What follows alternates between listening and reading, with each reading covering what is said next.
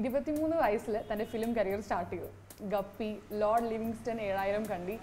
അതിൽ ഗപ്പിയിൽ കേരള സ്റ്റേറ്റ് അവാർഡൊക്കെ നേടി. നമ്മുടെ മുമ്പിലിരിക്കുന്ന talented successful costume designer of Malayalam film industry Steffy Xavier ആണ്. വെൽക്കം താങ്ക് യു ഒരു സിനിമ കാണുമ്പോൾ സിനിമ കാണുന്ന ഒരു സാധാരണക്കാരൻ അല്ലെങ്കിൽ ഒരു ശരാശരി വ്യക്തിയുടെ ഉള്ളിലേക്ക് വരുന്ന സ്വപ്നങ്ങൾ എന്ന് പറഞ്ഞ ഒരു അഭിനേതാവാണ് നായക നായികയാവണം അല്ലെങ്കിൽ പാട്ടുകാരനാവണം അല്ലെങ്കിൽ ഡാൻസ് പഠിക്കണം എന്നൊക്കെയാണ് പക്ഷേ ഞാൻ കേട്ടു സ്റ്റെഫിക്ക് വളരെ ചെറുപ്പത്തിൽ തന്നെ കോസ്റ്റ്യൂം ഡിസൈനർ ആവണം എന്നുള്ളൊരു സ്വപ്നം വന്നിരുന്നത് അതെങ്ങനെയാണ് ആ സ്വപ്നം വന്നൊരു സിനിമ കണ്ടിട്ടൊക്കെ. ഒരുപാട് സിനിമകൾ കാണുമായിരുന്നു വീട്ടിൽ അപ്പോൾ സിനിമ കാണുമ്പം ഈ നല്ല കളർഫുൾ ഡ്രസ്സ് ഇടാനുള്ള ഒരു ആഗ്രഹം ഉണ്ടായിരുന്നു. അപ്പോൾ ആ ആഗ്രഹം എന്ന് വെച്ചാൽ ഏത് സിനിമ വന്നാലും അതിലെ ഡ്രസ്സ് എങ്ങനെയാണ് അത് എങ്ങനത്തെ ഫാഷനാണെന്നെല്ലാം അന്നേ നമ്മൾ നോട്ട് ചെയ്യുമായിരുന്നു. പിന്നീട് വലുതാകുമ്പം ആ ഡ്രസ്സ് അതേപോലെ നമ്മുടെ അമ്മയുടെ പഴയ സാരിയോ അങ്ങനെയെല്ലാം അത് കട്ട് ചെയ്ത് നമ്മുടെ വീടിന്റെ അടുത്തുള്ള ടൈലറെ കൊണ്ട് ചെയ്യിപ്പിച്ച് അതെല്ലാം ഇട്ട് തുടങ്ങി. കുറച്ചും കൂടെ വലുതാകുമ്പോഴാണ് ഇങ്ങനെ ഒരാളുണ്ട് സിനിമയിൽ കോസ്റ്റ്യൂം ഡിസൈനർ എന്ന് പറഞ്ഞ ഒരാളാണ് ഇതെല്ലാം ചെയ്യുന്നതെന്ന് അറിയുന്നത്. അത് ഏതൊരു പ്രായത്തിൽ എനിക്ക് തോന്നുന്നു ഞാൻ ഒരു ഫോർത്തിൽ പഠിക്കുമ്പോഴാണ് ഒരു മാഗസിനിൽ ഫാഷന്റെ പത്ത് കൽപ്പനകൾ എന്ന് പറയുന്ന ഒരു ഒരു ആർട്ടിക്കിൾ വരുന്നത്. അന്നാണ് ഫാഷൻ ഡിസൈനർ കോസ്റ്റ്യൂം ഡിസൈനർ ഉണ്ടെന്ന് അറിയുന്നത്. പിന്നീട് എയ്ത്തിലെല്ലാം ആവുമ്പോഴാണ് സ്വപ്നക്കൂടെല്ലാം റിലീസ് ആവുന്നത്. അപ്പോൾ അത് അന്ന് അന്ന് അത് ഭയങ്കര ട്രെൻഡി ആയിരുന്നു. പ്രത്യേകിച്ച് ഞാൻ ജനിച്ചു വളർന്നത് വയനാട്ടിലായതുകൊണ്ടും അവിടെ ഇങ്ങനെയുള്ള ഫാഷൻ ഭയങ്കര ട്രെൻഡി ആയിട്ടുള്ള സാധനങ്ങൾ വരാൻ കുറച്ചൊന്ന് ഡിലേ ആവുന്നതുകൊണ്ടും ഇത് നമ്മൾ സ്വന്തം ചെയ്തെടുക്കുക എന്നുള്ളൊരു സംഭവം ഉണ്ടായിരുന്നു. അപ്പം അതിൽ നിന്നാണ് മെല്ലെ മെല്ലെ സിനിമ കണ്ടിട്ട് അത് അനുകരിക്കാൻ തുടങ്ങുന്നതും പിന്നീട് ഈ ജോലി ചെയ്യണം എന്നൊരാഗ്രഹം വരുന്നതും എല്ലാം. അങ്ങനെ അവിടെ നിന്ന് ബാംഗ്ലൂർ എത്തി പഠിച്ചു. അത് കഴിഞ്ഞിട്ട് സിനിമയിൽ എത്തുന്നതിന് മുൻപ് എവിടെയെങ്കിലൊക്കെ വർക്ക് ചെയ്തൊരു എക്സ്പീരിയൻസ് ഉണ്ടായിരുന്നു? ബാംഗ്ലൂരിൽ നിന്ന് പഠിച്ച് എറണാകുളം വന്നു കഴിയുമ്പോൾ എനിക്ക് ഇവിടെ ആരെയും അറിയത്തില്ല. എറണാകുളം അത്ര വലിയ പരിചയമില്ലാത്തൊരു സ്ഥലമായിരുന്നു. അപ്പോൾ ഇവിടെ വന്നതിന് ശേഷം ഞാൻ അർഷൽ ഫോട്ടോഗ്രാഫി എന്ന് പറയുന്ന ഒരു ഫോട്ടോഗ്രാഫറെ എടുത്ത് ഫ്രീലാൻസ് ആയിട്ട് ഒരു ത്രീ മന്ത്സ് വർക്ക് ചെയ്തിട്ടുണ്ടായിരുന്നു. അപ്പം ഈ മോഡൽസിന്റെ പോർട്ട്ഫോളിയോ സ്റ്റൈലിംഗ് അങ്ങനെയെല്ലാം ആയിരുന്നു അതൊരു ഫ്രീലാൻസ് ആയിട്ട് ചെയ്യായിരുന്നു. അവിടുന്ന് ആഡ് ഫിലിമിലോട്ട് വരുന്നത്. തുടങ്ങുമ്പോൾ ജിസ്മോൻ സാറിന്റെ ആഡ്സും സിജോയ് വർഗീസ് ദിനേശ് പ്രഭാകർ അങ്ങനെയുള്ള ആർട്ട് ഫിലിം മേക്കേഴ്സിന്റെ ആഡിലാണ് ഞാൻ തുടങ്ങുന്നത്. പിന്നെ ഒരു ഒരു വർഷം കണ്ടിന്യൂസ് ആയിട്ട് കുറേ നല്ല ബ്രാൻഡുകളുടെ ആഡിന്റെ കൂടെ വർക്ക് ചെയ്യാൻ പറ്റി. ഒരു വൺ ഇയർ ആകുമ്പോൾ ദിനേശ് പ്രഭാകർ എന്ന് പറയുന്ന നമ്മുടെ ആർട്ട് ഫിലിം മേക്കർ തന്നെയാണ് ലുക്കാച്ചോപ്പി എന്ന് പറഞ്ഞ ഫിലിമിലോട്ട് വിളിക്കുന്നത്. കരിയർ തുടങ്ങിയത്. തുടങ്ങുന്നത്. ഇപ്പോൾ ഒരു സിനിമയിലെ കോസ്റ്റ്യൂം ഡിസൈൻ എന്ന് പറയുമ്പോൾ എല്ലാവരുടെ മനസ്സിലേക്ക് പോകുന്നത് കോസ്റ്റ്യൂംസ് ഡിസൈൻ ചെയ്ത് കൊടുക്കുന്ന ആൾ പക്ഷേ അതിന് പിന്നിലുള്ള ഒരു എന്തൊക്കെയാണ് അവർ ചെയ്യുന്നുള്ളത് എല്ലാവർക്കും അറിയണമെന്നില്ല. അതായത് നമ്മളിപ്പം ഒരു ഒരു പെർട്ടിക്കുലർ കാലഘട്ടത്തെ സിനിമയാണെങ്കിൽ അവിടെ ബാക്ക്ഗ്രൗണ്ട് സ്റ്റഡി ഉണ്ടാവും. അവിടുത്തെ ജിയോഗ്രഫി പഠനം ഉണ്ടാവും. ഇത് കുറച്ച് ഞാൻ എന്റെ ഒരു ഓർമ്മയിൽ വന്ന് പറഞ്ഞു പക്ഷേ സ്റ്റെഫി എന്തൊക്കെയാണ്? സ്റ്റെഫിയുടെ ആ ഒരു പ്രോസസ്സ് എങ്ങനെയാണ്? നമ്മൾ ഇങ്ങനെയുള്ള പീരിയഡ് പടങ്ങൾ ചെയ്യുമ്പോൾ നമ്മുടെ ആദ്യമേ സ്ക്രിപ്റ്റ് പറയുമ്പോൾ ഇത് എത്ര കാലം മുമ്പുള്ളതാണ്. എങ്ങനെയുള്ള ഒരു കാലഘട്ടത്തിലാണ് അതിന്റെ സിറ്റുവേഷൻ ക്ലിയർ ആയിട്ട് ഡയറക്ടർ നമുക്ക് എക്സ്പ്ലെയിൻ ചെയ്ത് തരുന്നുണ്ട്. ഇന്ന് നമ്മൾക്ക് ഈ ഗൂഗിളെല്ലാം ഐ മീൻ ഇന്റർനെറ്റ് ഒക്കെ ഉള്ളത് കൊണ്ട് എന്തും ഈസി ആയിട്ട് കിട്ടുന്ന ഒരു കാലഘട്ടം. ഇപ്പം ഞാനൊക്കെ അതുകൊണ്ട് വളരെയധികം ഈസി ആയിട്ട് ജോലി ചെയ്യുന്ന ആൾക്കാരാണ് അപ്പോൾ ഇത്ര വർഷം മുമ്പുള്ള കോസ്റ്റ്യൂംസ് പറഞ്ഞാൽ നമുക്ക് പെട്ടെന്ന് അതിന്റെ എല്ലാ രീതിയിലുള്ള നമുക്ക് അവൈലബിൾ ആണ് റെഫറൻസസ് പിന്നെ പഴയ കാലങ്ങൾ കാലത്തെ സിനിമകൾ കാണുക. പിന്നെ പറ ഡയറക്ട് ചില ഡയറക്ടേഴ്സ് വളരെ കൃത്യമായിട്ട് എന്താണ് വേണ്ടത് എന്ന് പറഞ്ഞു തരും. പിന്നെ ഈ ഹിസ്റ്റോറിക്കൽ കോസ്റ്റ്യൂംസിനെ കുറിച്ചുള്ള ബുക്ക്സ് ചില സമയത്ത് നമ്മൾ റെഫർ ചെയ്യാറുണ്ട്. ഇതെല്ലാം കഴിഞ്ഞ് ഇന്ന് നമുക്ക് റെഡിമെയ്ഡ് ആയിട്ട് എല്ലാം അവൈലബിൾ ആകുമ്പം ഈ പീരിയഡ് പടങ്ങൾ വരുമ്പോൾ ഫുൾ നമ്മൾ റീക്രിയേറ്റ് ചെയ്യേണ്ടി വരും.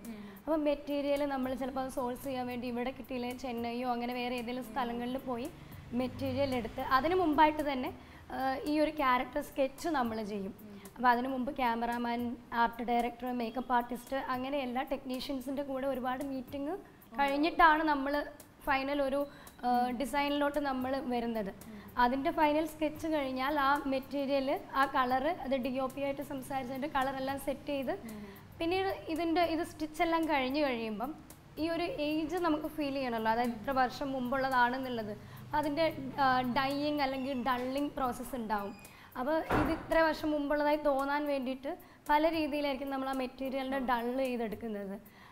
അങ്ങനെയൊക്കെയാണ് പീരിയഡ് കോസ്റ്റ്യൂംസ് ചെയ്യുമ്പോൾ നമ്മൾ സ്റ്റിഫ് ചെയ്തതിൽ കുറച്ച് ഡിഫറെന്റ് ആയിട്ടുള്ള കോസ്റ്റ്യൂംസ് കാര്യങ്ങൾ വന്നത്. ഗപ്പി ലോർഡ് ലിവിങ്സ്റ്റണിലൊക്കെയാണ്. അപ്പം അതിന്റെ പിന്നിൽ ബാക്കിയുള്ള പടങ്ങളെക്കാളും കൂടുതൽ എഫേർട്ട് എടുക്കേണ്ടി വന്നിട്ടുണ്ടോ? ലോർഡ് ലിവിങ്സ്റ്റൺ എനിക്ക് ഏകദേശം എന്റെ രണ്ടാമത്തെ സിനിമയാണ്. അപ്പം ലോർഡ് ലിവിങ്സ്റ്റൺ ചെയ്യുമ്പോൾ ഞാൻ ലുക്കാച്ചോപ്പി കമ്മിറ്റ് ചെയ്തിട്ടില്ല. അതിന് മുമ്പ് ഞാൻ കമ്മിറ്റ് ചെയ്ത പടമാണ് ലോർഡ് ലിവിങ്സ്റ്റൺ. ഇതൊരു five hundred years back tree ഹൗസിലുള്ള ആളുകളുടെ കഥ എന്ന് പറയുമ്പോൾ എനിക്ക് സത്യം പറഞ്ഞാൽ ഒരു ക്ലൂ ഉണ്ടായിരുന്നില്ല ഇത് എന്താണ് സംഭവം എന്നുള്ളത്. അപ്പം അന്ന് അനിലേട്ടൻ ഡയറക്ടർ അനിൽ രാധാകൃഷ്ണ മേനോൻ ഭയങ്കരമായിട്ട് എന്നെ ട്രസ്റ്റ് ചെയ്ത് എനിക്ക് ഭയങ്കരമായിട്ട് ഫ്രീഡം തന്നായിരുന്നു. എന്തും ചെയ്യാം. അത് പുള്ളീനെ അവസാനം കാണിച്ചാൽ മതി. അല്ലാതെ ഇത് വേണം. ഈ കളറിൽ ഇങ്ങനെ. അങ്ങനെ ഒന്നും നമ്മൾ റെസ്ട്രിക്റ്റ് ചെയ്തിട്ടുള്ള ഒരു വർക്കായിരുന്നില്ല അത്. അപ്പം എനിക്ക് സത്യം പറഞ്ഞ ലോർഡ് ലിവിങ്സ്റ്റന്റെ കഥ കേട്ടപ്പം ഫസ്റ്റ് മനസ്സിൽ ഓടി വരുന്ന കുറേ കോസ്റ്റ്യൂംസ് എന്ന് പറഞ്ഞാൽ ഗുരു ഇല്ലേ ലാലട്ടന്റെ? ഗുരു അങ്ങനെയുള്ള സിനിമകളൊക്കെയാണ് ഓർമ്മ വന്നത്. അപ്പോൾ എവിടെയെല്ലോ അതെന്നെ ഇൻസ്പയർ ചെയ്തിട്ടുണ്ട് അങ്ങനെയുള്ള സിനിമകൾ. പിന്നീട് ലോഡ് ലിവിങ്സ്റ്റ് ട്രീ ഹൗസിലുള്ള ആളുകളാണെന്ന് പറയുമ്പോൾ മരത്തിന്റെ മുകളിൽ കയറാനും ഇറങ്ങാനും ഒക്കെ ഉള്ള ഒരു സൗകര്യമുള്ള കോസ്റ്റ്യൂംസ് വേണം എന്നുള്ളത് കൊണ്ട് നമ്മൾ കച്ചം എന്ന് പറയുന്ന ഒരു ടൈപ്പ് ഓഫ് കോസ്റ്റ്യൂം ഉണ്ട്. അതാണ് നമ്മൾ ചെയ്തത്. അത് അതും ഈ പറഞ്ഞ മാതിരി അതിന്റെ ആക്സസറീസ് എന്ന് പറഞ്ഞാൽ എല്ലാം മരത്തിന്റെ തോൽ അല്ലെങ്കിൽ കായ്കൾ ഇല അങ്ങനെയുള്ള ഐറ്റംസ് യൂസ് ചെയ്തിട്ടാണ് അതിന്റെ ആക്സസറീസ് ചെയ്തിട്ടുണ്ടായിരുന്നത്. പിന്നെ ട്രേപ്പ് ചെയ്യുന്ന സ്റ്റിച്ച് ചെയ്യാൻ അന്ന് മെഷീൻസ് ഉണ്ടായിരുന്നില്ല ഉണ്ടാവില്ല. അതുകൊണ്ട് തന്നെ ഫുൾ ട്രേപ്പിംഗ് മേത്ത് നമ്മൾ ചുറ്റിയെടുക്കുന്ന രീതിയിലും കൈ കൊണ്ട് ബ്രേഡ് ചെയ്ത് മെടഞ്ഞിട്ടുള്ള ഇപ്പം നമ്മൾ എവിടെയെങ്കിലും ടൈ ചെയ്യണമെങ്കിൽ അങ്ങനെയെല്ലാം ഉള്ള മെറ്റീരിയൽസ് വെച്ചിട്ടാണ് ചെയ്തത്. ഇത് സ്റ്റെഫി ഒറ്റയ്ക്കാണോ അതോ ഈ കോസ്റ്റ്യൂം ഡിസൈനറിന് പിന്നിൽ ഒരു ഒരു വലിയ ടീം തന്നെ ഉണ്ടോ? ഉറപ്പായിട്ടും. അതായത് ഇപ്പം ഞാൻ ഭയങ്കര ക്രിയേറ്റീവായി ഭയങ്കര നല്ല രീതിയിൽ ഒരു കാര്യം ചെയ്താലും എന്റെ കൂടെ ഉള്ള എന്റെ ടീമുണ്ട് എന്റെ അസിസ്റ്റ് ചെയ്യുന്ന എന്റെ ടീമുണ്ട് അവർ അത്ര നന്നായി എന്റെ കൂടെ നിൽക്കുന്നതുകൊണ്ടാണല്ലോ എന്റെ വർക്ക് വളരെ സ്മൂത്തായിട്ട് മുന്നോട്ട് പോകുന്നത്. എന്റെ ഇപ്പം ഞാൻ രണ്ട് സിനിമ ഒരു സമയം ചെയ്യുമ്പം രണ്ട് സ്ഥലത്ത് ഒരേ സമയം ഓടിയെത്താൻ പറ്റിയില്ലെങ്കിൽ എന്റെ കൂടെയുള്ള എന്റെ ടീം അത്രയും സപ്പോർട്ടിംഗ് ആയിട്ട് നമ്മളോടൊപ്പം തന്നെ അല്ലെങ്കിൽ ഒരു ഡിസൈനർ ചെയ്താൽ മതി അവർ അസിസ്റ്റന്റ് ആണ് ആ രീതിയിലൊന്നുമല്ല. ഇതൊരു ടീം വർക്കായിട്ട് നമ്മുടെ സിനിമ എന്നുള്ള രീതിയിൽ നിൽക്കുന്ന കുറേ പേര് എന്റെ കൂടെ ഉണ്ട്. അതുകൊണ്ടാണ് അത്ര നന്നായിട്ട് പോകാൻ കാരണം. അതായത് നമ്മൾ ഇവിടുത്തെ മീറ്റിംഗ് കഴിഞ്ഞ് ഐഡിയ എല്ലാം കിട്ടിയതിന് ശേഷം നമ്മുടെ ടീമായിട്ടൊരു ഡിസ്കഷൻ അതെ അതെ അതെ അപ്പം അങ്ങനെയാണ് കാര്യങ്ങൾ പോകുന്നത് അപ്പം ഇതുവരെ ചെയ്തതിലുള്ള വെച്ച് സ്റ്റെഫിയുടെ ഒരു ഒരു ഒരു എന്താ പറയുക ഒരു ഹാപ്പി എക്സ്പീരിയൻസ് അതായത് ഇത് ചെയ്ത് ഭയങ്കര അങ്ങോട്ട് സാറ്റിസ്ഫൈഡ് ആയി. അത് ചിലപ്പം ആക്ടറിന്റെ അല്ലെങ്കിൽ ആക്ട്രസിന്റെ അല്ലെങ്കിൽ ഒരു ഡയറക്ടറിന്റെ അവരുടെ ഒരു ഫീഡ്ബാക്ക് കിട്ടിയ ശേഷമാവാം. അല്ലെങ്കിൽ ആ വർക്ക് കഴിഞ്ഞ ശേഷം സ്റ്റെഫിക്ക് തന്നെ ഒരു റിയലൈസേഷൻ വന്നാവാം അങ്ങനെയുള്ള വർക്കുണ്ടോ എനിക്ക് ഒന്നല്ല പറഞ്ഞ load Livingstone guppy Angamaly diaries Vijay സൂപ്രം Pournami ഇതെല്ലാം എന്റെ പേഴ്സണൽ എസ്ര. ഇതെല്ലാം എന്റെ പേഴ്സണൽ ഫേവറേറ്റ് എന്ന് പറയാൻ പറ്റുന്ന സിനിമകളാണ്. അവിടെയും ഒരു കാലഘട്ടത്തിന്റെ അത് കാണുന്നുണ്ട് അല്ലേ? അപ്പം ഇരുപത്തിമൂന്നാം വയസ്സിലെ കരിയർ സ്റ്റാർട്ട് ചെയ്ത്. ഇരുപത്തിമൂന്നാം വയസ്സിൽ എല്ലാവരും പതുക്കെ പതുക്കെ സ്റ്റാർട്ട് ചെയ്യുമ്പോൾ ഒരാൾ നേരെ സിനിമയിലേക്ക് അങ്ങോട്ട് കയറി അപ്പം പേടിയുണ്ടായിരുന്നു കുറച്ചൊക്കെ? ഇല്ല എനിക്കന്ന് സിനിമേനെ കുറിച്ച് വലിയ ഐഡിയ ഇല്ലല്ലോ. ഇപ്പം ആണെങ്കിൽ എനിക്ക് ഒരു സിനിമ ചെയ്യുമ്പോൾ ഭയങ്കര പേടിയാണ്. ഇത് തീരുന്നവരെ ലൊക്കേഷനിൽ നിന്ന് ഒരാരെങ്കിലും ഫോൺ വരുമ്പോൾ എനിക്ക് ഭയങ്കര ടെൻഷൻ എന്തെങ്കിലും കംപ്ലൈന്റ് ഉണ്ടോ എന്നൊരു ടെൻഷൻ പക്ഷെ അന്ന് തുടങ്ങുമ്പോൾ ഒരു ടെൻഷനും ഉണ്ടായിരുന്നില്ല. കാരണം എനിക്ക് ഇതിന്റെ സീരിയസ്നെസ് അന്ന് അത്രയും അറിയത്തില്ലായിരുന്നു. പിന്നീട് ചെയ്തു വരുമ്പോഴാണ് ഒരു കോസ്റ്റ്യൂം ഡിലേ ആയാൽ അവിടെ ഷൂട്ട് ഇങ്ങനെ ഡിലേ ആകും. അത് എത്രത്തോളം ആളുകളെ ബാധിക്കുന്നുള്ളതല്ല. ഇപ്പോഴാണ് മനസ്സിലായി വന്നത്. ഇപ്പൊ കാലം കഴിയുന്ന ടെൻഷൻ ഇപ്പോഴാണ് ശരിക്കും പറഞ്ഞാൽ ഇപ്പോഴാണ് ടെൻഷൻ നമ്മൾ ഐശ്വര്യലക്ഷ്മിയോട് സംസാരിച്ചപ്പോഴും രജിഷ വിജനോടൊക്കെ സംസാരിച്ചപ്പോഴും അവർ പറഞ്ഞ ഒരു സംഭവം ഉണ്ട് അതായത് ജീവിതത്തിലെ പ്രശ്നമുള്ള സമയമൊക്കെ വരുമ്പോൾ ആദ്യം വിളിക്കുക സ്റ്റെഫീനി എന്ന് പറഞ്ഞിട്ടുണ്ട്. അപ്പോൾ കുറേ പേര് അന്ന് അങ്ങനെ ചോദിച്ചു ആരെയും സ്റ്റെഫി? എന്നൊക്കെ ചോദിച്ചപ്പോൾ കുറേ പേര് അങ്ങനെ സെർച്ച് ചെയ്ത് നോക്കിയിട്ടുണ്ടായിരുന്നു. അപ്പം ഞാൻ സ്റ്റെഫിയോട് ചോദിക്കുകയാണെങ്കിൽ സ്റ്റെഫിയുടെ ഒരു മെന്റർ പ്രൊഫഷണലി ആവാം. എങ്ങനെ വേണമെങ്കിലും ആവാം? സ്റ്റെഫി ഒരു എന്താ പറയുക ഇങ്ങനെ ഇച്ചിരി ആവശ്യമുള്ള സമയങ്ങൾ അല്ലെങ്കിൽ ഒരു ഒരാളുടെ ഹെൽപ്പ് വേണം എന്ന് തോന്നുന്ന സമയങ്ങൾ പ്രൊഫഷണലി ആയാലും എങ്ങനെ വേണമെങ്കിലും ആവാം. ആ സമയത്ത് അപ്രോച്ച് ചെയ്യുന്ന ആളാരാണ്?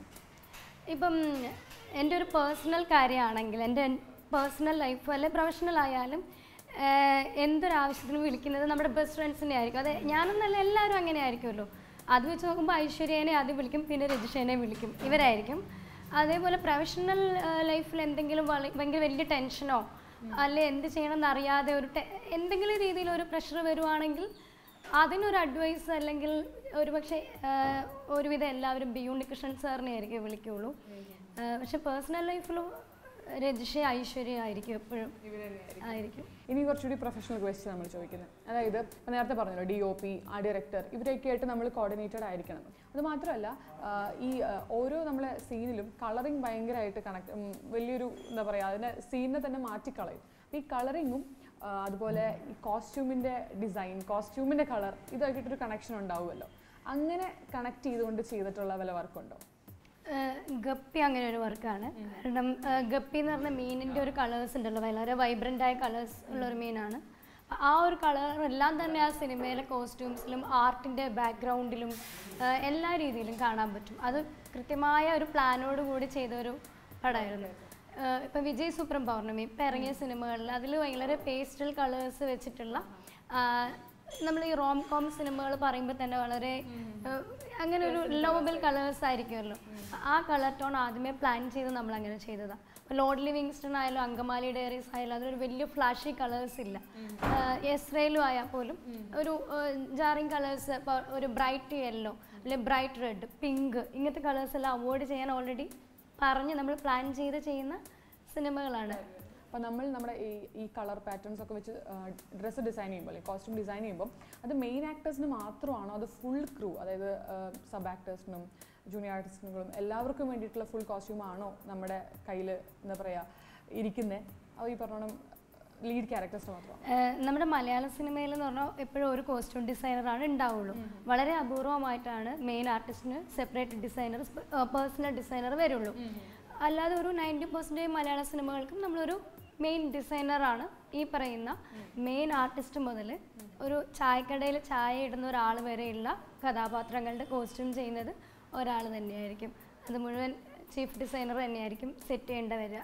പക്ഷേ ഇപ്പം തമിഴിലെല്ലാം ആണെങ്കിൽ മെയിൻ ആർട്ടിസ്റ്റിന് ഒരാൾ ബാക്കിയുള്ള ആർട്ടിസ്റ്റുകൾക്ക് ഒരാൾ അങ്ങനെയുള്ള വ്യത്യാസം ഉണ്ടാവാറുണ്ട്. ഇനി നമ്മൾ ലാസ്റ്റ് ക്വസ്റ്റ്യൻ എല്ലാവരുടെ അടുത്ത് ചോദിക്കുന്ന ഒരു ചോദ്യമാണ്. അതായത് അസ്പയറിങ് ആളുകൾ ആളുകൾ എന്ത് ചെയ്യണം എന്നുള്ളൊരു ചോദ്യം. സ്റ്റെഫി ഇരുപത്തിമൂന്ന് വയസ്സിൽ എന്താ പറയുക ആരും പറഞ്ഞു തരാനില്ലാണ്ട് സ്വയം എക്സ്പ്ലോർ ചെയ്തിട്ടാണ് ഇതിപ്പോൾ ഈ ഇരിക്കുന്ന സ്റ്റേജ് വരെ എത്തിയത്.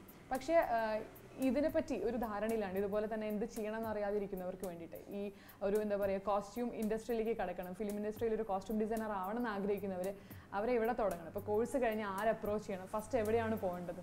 ആ ഒരു യാത്ര എങ്ങനെയായിരിക്കണം അവർ കോഴ്സ് കഴിഞ്ഞാൽ ഇന്ന് ഇന്ന് നമ്മുടെ ഇവിടെ ഒരുപാട് ഓപ്ഷൻസ് ഉണ്ട്. സിനിമ പെട്ടെന്ന് ഒരു സിനിമ സെറ്റ് ആയില്ലെങ്കിൽ അതിന് തൊട്ട് മുമ്പ് ആർട്ട് ഫിലിംസ് ചെയ്യാം. ആർട്ട് ഫിലിം ആർട്ട് ഫിലിം ഇല്ലെങ്കിൽ മാഗസിൻ ഷൂട്ട്സ് ഉണ്ട്. അല്ലെങ്കിൽ ചാനൽ ഷോസ് ഉണ്ട്. നമുക്ക് ഒരുപാട് സിനിമയ്ക്ക് മുന്നേ മുന്നിൽ തന്നെ നമുക്ക് ചെയ്തു വരാനുള്ള ഒരുപാട് ഓപ്ഷൻസ് ഉണ്ട്. അത് അത് മാത്രമല്ല ഇപ്പോൾ പുതിയ സിനിമകളിൽ ഒരുപാട് സിനിമകളിൽ പുതിയതായി കോസ്റ്റ്യൂം ഡിസൈനേഴ്സിനെ ഇൻട്രൊഡ്യൂസ് ചെയ്യാൻ റെഡി ആയിട്ടുള്ള ഒരുപാട് പ്രൊഡക്ഷൻ ഹൗസും ഡിസൈ ഡയറക്ടേഴ്സും ഉണ്ട്. പിന്നെ ഇപ്പോൾ എന്റെ കൂടെ ആയാലും ഫാഷൻ ഡിസൈനിങ് കഴിഞ്ഞ് വന്ന ആൾക്കാർ അസിസ്റ്റ് ചെയ്യുന്നുണ്ട്. അപ്പോൾ ഫാഷൻ ഡിസൈനിങ് പഠിക്കാൻ കഴിവ കഴിവില്ലാതെ പോയ ആരെങ്കിലും ഉണ്ടെങ്കിൽ അല്ലെങ്കിൽ അതിനൊരു സാഹചര്യം ഇല്ലാതെ പോയ ആളുകൾക്ക് വേണ്ടിയിട്ട് ഒരു ഒന്നോ രണ്ടോ സിനിമ അസിസ്റ്റ് ചെയ്താൽ നമുക്ക് ചീഫ് ഡിസൈനറായി വർക്ക് ചെയ്യാനുള്ള ഒരു സാഹചര്യം ഫെഫ്ക പോലെയുള്ള യൂണിയൻസ് ഇവിടെ നൽകുന്നുമുണ്ട്. അതുകൊണ്ട് എനിക്ക് തോന്നുന്നു നമുക്കൊരു കഴിവുണ്ടെങ്കിൽ പാസ് ഔട്ട് ആയിട്ടുണ്ടെങ്കിൽ ഒന്നെങ്കിൽ ഡിസൈനേഴ്സിനെ കോൺടാക്ട് ചെയ്തിട്ട് അല്ലെങ്കിൽ ഈ പറയുന്ന ഇത്തരം ആർട്ട് ഫിലിം മേക്കേഴ്സോ അങ്ങനെ തുടങ്ങി നമുക്ക് ഈസി ആയിട്ട് വരാനുള്ള കുറേ മാർഗങ്ങൾ നമ്മുടെ മുമ്പിലുണ്ട്. ഇപ്പൊ സ്റ്റെഫി ഇപ്പോൾ പറഞ്ഞല്ലോ അതായത് ഇപ്പം ഈ കോഴ്സ് കഴിയണമെന്നില്ല അങ്ങനെ ഇല്ലാത്തവർ വരെ വർക്ക് ചെയ്യുന്നുണ്ടെന്ന് പറഞ്ഞു. അപ്പം അസിസ്റ്റ് ചെയ്യുന്നവരിൽ അങ്ങനെ ഉണ്ടോ? അതായത് ഇപ്പം പ്രൊഫഷണലി കോഴ്സ് അറ്റൻഡ് ചെയ്തിട്ടില്ല. പക്ഷേ ഇതിനകത്തൊരു ടേസ്റ്റും കാര്യങ്ങളും ഉള്ള രീതി ഉള്ളതുകൊണ്ട് നമ്മൾ അസിസ്റ്റ് ചെയ്യുന്നുണ്ട് ഫിലിമിൽ വർക്ക് ചെയ്യുന്നുണ്ട്. അങ്ങനെ ഉണ്ടോ? സ്റ്റെഫിയുടെ കീഴിൽ? എന്റെ കീഴിൽ ഒരുപാട് പേരുണ്ട്. എന്റെ കൂടെ ഒരു പതിനഞ്ച് ടീം ഉണ്ടെങ്കിൽ അതിൽ രണ്ട് പേരാണ് ഫാഷൻ ടെക്നോളജി ഡിഗ്രി ചെയ്ത് വന്നവരുള്ളൂ. ബാക്കിയുള്ളവരെല്ലാം എന്റെ എത്രയോ ഇരട്ടി എക്സ്പീരിയൻസ് ഉള്ള ടൈലേഴ്സും അസിസ്റ്റൻസും ആണ്. ഇത് പറയുമ്പോഴാണ് ഈ ഒരു സെവൻ എയ്റ്റ് ഇയേഴ്സ് ആയിട്ടാണ് ഫാഷൻ ഡിസൈനിങ് കഴിഞ്ഞ ആളുകൾ ഡിസൈനേഴ്സ് ആയിട്ട് വരുന്നുള്ളൂ. ഇതിനു മുമ്പ് മലയാള സിനിമയിൽ നമ്മൾ ഏറ്റവും ഭയങ്കര റെസ്പെക്റ്റ് ആയിട്ട് കാണുന്ന കുറേ സിനിമകളില്ലേ? അതായത് കോസ്റ്റ്യൂമിന്റെ കാര്യത്തിലായാലും ഗുരു പോലെയുള്ള അല്ലെ ദയ പോലെ നാഷണൽ അവാർഡ് കിട്ടിയ സിനിമകൾ പഴശ്ശിരാജ പോലെയുള്ള കോസ്റ്റ്യൂമിന് നാഷണൽ അവാർഡ് കിട്ടിയ സിനിമകളുണ്ട്. ഇതിലിപ്പോൾ എസ് ബി സതീഷ് എന്ന് പറയുന്ന ഡിസൈനർ ആയാലും സായി എന്ന് പറയുന്ന ഡിസൈനർ ആയാലും കുമാരടപ്പാൾ ഇവരൊക്കെ നമ്മൾക്ക് ഇന്ന് അത്ര ഒരു പക്ഷേ എത്രത്തോളം അറിയുന്ന അറിയില്ല. പക്ഷേ ഇവരെല്ലാവരും ഫാഷൻ ഡിസൈനിങ് കഴിഞ്ഞ് വന്നവരാരുമല്ല ഇവരൊക്കെ ഓൺ ഇവരുടെ സ്വന്തം ഒരു ടാലന്റിൽ നിന്ന് അത് ഡെവലപ്പ് ചെയ്ത് എത്ര രണ്ടും മൂന്നും നാഷണൽ അവാർഡ്സ് വാങ്ങിയ ആളുകളാണ്. സോ ഒരു കോഴ്സ് കഴിയണം എന്നുള്ളത് ഒരു മാനദണ്ഡമായിട്ട് എനിക്ക് തോന്നുന്നില്ല. അപ്പോൾ കോഴ്സ് കഴിയാത്തവരാണെങ്കിലും കോഴ്സ് കഴിഞ്ഞവരാണെങ്കിലും ഇപ്പോൾ സ്റ്റെഫിനെ അസിസ്റ്റ് ചെയ്യുന്നുണ്ട്. അവർ എങ്ങനെയാണ് സ്റ്റെഫിൻ അപ്രോച്ച് ചെയ്യേണ്ടത് പുതിയ ആളുകൾ എനിക്ക് ഇപ്പോൾ സോഷ്യൽ മീഡിയാസ് വഴി ഇൻസ്റ്റാഗ്രാമോ ഫേസ്ബുക്കോ അല്ലെങ്കിൽ ഏതെങ്കിലും കോമൺ ഫ്രണ്ട്സ് വഴിയോ അങ്ങനെയൊക്കെയാണ് എന്റെ അടുത്ത് അപ്രോച്ച് ചെയ്ത് വരാറ്. ഇനി ഫ്യൂച്ചർ പ്രോജക്ട്സ് ഏതൊക്കെയാണ്? ഇപ്പോൾ ആടുജീവിതം എന്ന് പറയുന്നത് എനിക്കും എന്റെ ഒരു വലിയ ഡ്രീം പ്രൊജക്റ്റാണ് ഒരുപാട് നാൾ കൊണ്ട് ഷൂട്ട് ചെയ്തുകൊണ്ടിരിക്കുന്ന സിനിമയാണ് അതുപോലെ ഇനി പട എന്ന് പറയുന്ന ഒരു സിനിമ റിലീസ് ആവാനുണ്ട് പിന്നെ മമ്മൂക്കാന്റെ ഷൈലോക്ക്. അങ്ങനെയുള്ള കുറച്ച് സിനിമകൾ. അപ്പോൾ ഇനി ഒരുപാട് വർഷങ്ങൾ ഇതിന് മുന്നിലേക്ക് എടുക്കുകയാണ് ഒരുപാട് വർക്കുകൾ ഇതിന് എടുക്കുന്നുണ്ട്. നമുക്ക് എന്താ പറയുക കണ്ടിട്ട് സ്റ്റെഫിയുടെ വർക്കാന്ന് പറഞ്ഞ് സന്തോഷിക്കാനുള്ള വർക്കുകൾ അപ്പോൾ എല്ലാത്തിനും all the very best Steffy. Thank you for coming thank you